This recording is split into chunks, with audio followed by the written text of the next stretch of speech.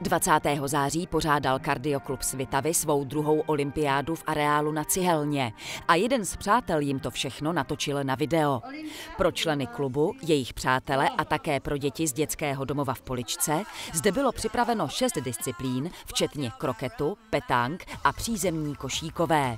Samozřejmě nechyběla olympijská pochodeň, slavnostní olympijský slib a medaile pro vítěze.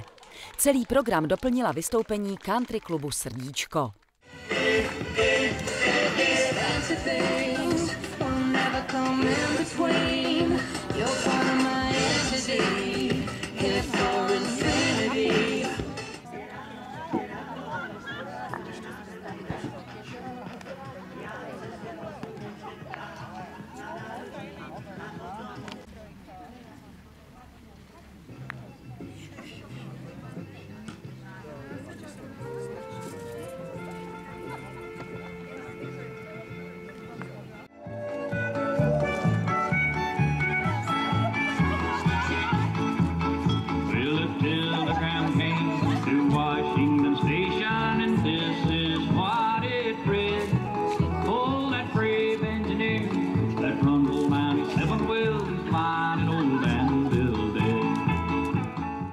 Druhé kardio-olympiády se ve Svitavách zúčastnilo více než šest desítek soutěžících a tak pořadatelé už nyní chystají pokračování pro rok 2015.